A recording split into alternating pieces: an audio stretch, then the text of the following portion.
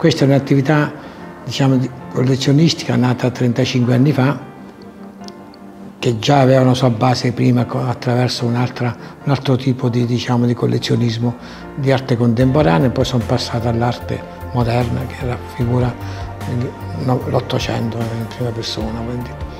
E diciamo che eh, niente, abbiamo iniziato a collezionare, io e mia moglie abbiamo cominciato girando un po' tutta l'Europa e non solo l'Europa a raccogliere secondo un certo, una certa idea alcuni quadri e è venuta fuori questa collezione. Tutte le opere sono come i figli per me, dalla prima all'ultima sono tutte uguali.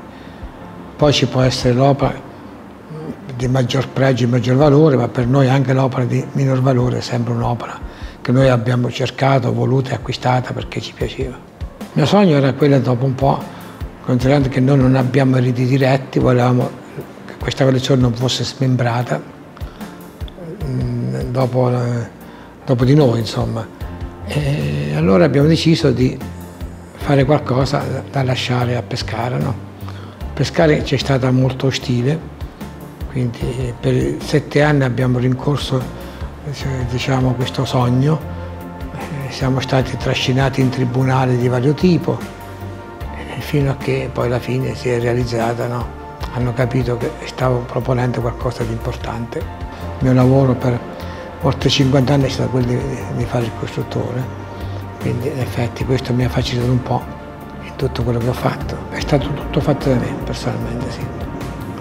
Ogni cosa qua è stata diciamo, curata da me personalmente con molta pignoreria, diciamo, con molta attenzione. E questo è valso anche per le opere. Le cornici ha avuto un discorso, io ritenevo che i capolavori vadano, diciamo, vadano diciamo, vestiti bene come anche una bella donna ben, vestita, quindi i capolavori vanno vestiti bene, quindi ho girato anche per questo tutto il mondo, non soltanto l'Europa, cercando di scovare le cornici più belle e più adatte di vestire quell'opera. Ovviamente andiamo dal 400 all'800.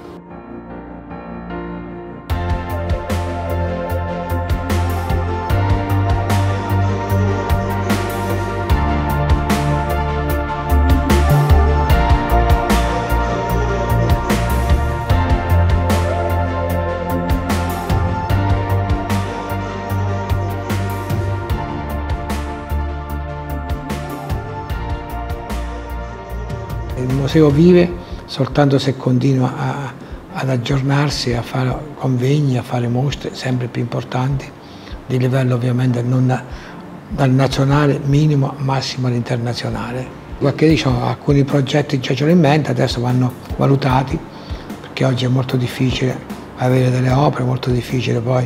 Qui hanno tutte le garanzie perché la costruzione è idonea a tutto. Abbiamo cassaforte addirittura della Banca d'Italia, abbiamo un impianto di diciamo, eh, deumidificazione che hanno pochi musei, abbiamo un impianto di condizionamento quasi tutto a pavimento, quindi senza correnti d'aria, senza riflussi, senza niente. Dovrebbe, dovrebbe, essere più facile per noi avere delle opere per poter fare delle grandi mostre. Noi da sempre siamo innamorati dell'arte, quindi è stato il nostro compagno di viaggio nella nostra vita, quindi abbiamo sempre cercato il bello ma questo non soltanto nei quadri, anche in tutto il resto. No? Lei ha visto dei mobili che sono di notevole qualità, ha visto delle cornici che sono di qualità, ha visto anche questa libreria che non è, eh, diciamo, è tutta inerente alle opere, per lo più inerente alle opere che noi conserviamo in questo museo. Quindi il bello per noi è sempre stato la rincorsa.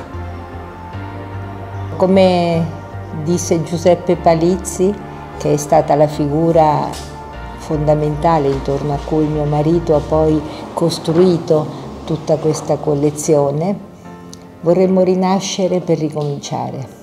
Io personalmente, essendo stata una pediatra, eh, mi aspetto di vedere l'ultimo piano pieno di bambini anche piccolissimi che vengano con le loro cartelline, con loro con eh, le loro matite a, a, ad imparare a guardare un quadro, a, a disegnare. Ecco, questo è, questa è la mia prossima tappa.